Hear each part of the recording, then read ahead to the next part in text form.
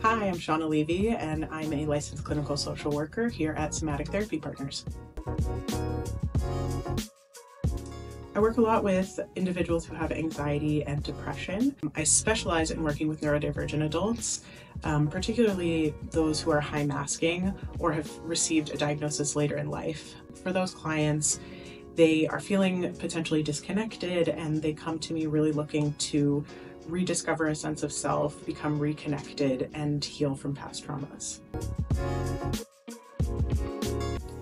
Somatic therapy to me is feeling, sensing, and connecting with your body. I believe that our bodies hold an incredible amount of wisdom and knowledge, and if we can tap into that, we can heal from emotional wounds in a way that feels really profound and lasting.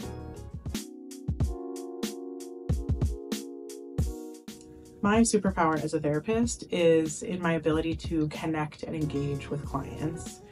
Most people know that when they go to therapy, they're going to be digging into some difficult topics.